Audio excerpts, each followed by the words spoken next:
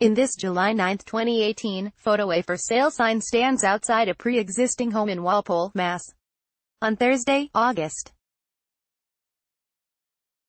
9, Freddie Mac reports on the week's average U.S. mortgage rates. AP photo, Steven Senne, Washington, AP, long-term U.S. mortgage rates are down this week amid a restrained home buying season this summer.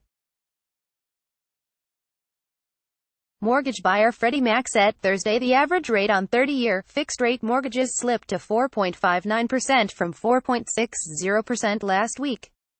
Long-term loan rates have been running at their highest levels in seven years. The average benchmark 30-year rate reached a high this year of 4.66% on May 24. By contrast, the rate stood at 3.90% a year ago. The average rate on 15-year, fixed-rate loans fell to 4.05% this week from 4.08% last week. Higher mortgage rates combined with steadily rising home prices have dampened home sales this summer despite the robust economy and job market.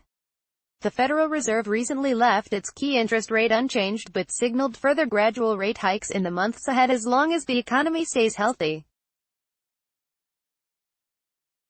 To calculate average mortgage rates, Freddie Mac surveys lenders across the country between Monday and Wednesday each week.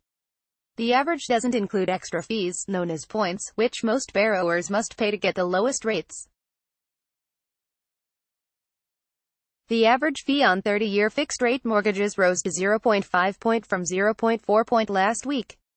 The fee on 15-year mortgages also increased to 0.5 point from 0.4 point. The average rate for five-year adjustable rate mortgages fell to 3.90% from 3.93% last week. The fee rose to 0.3 point from 0.2 point.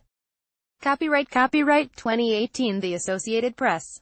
All rights reserved. This material may not be published, broadcast, written or redistributed.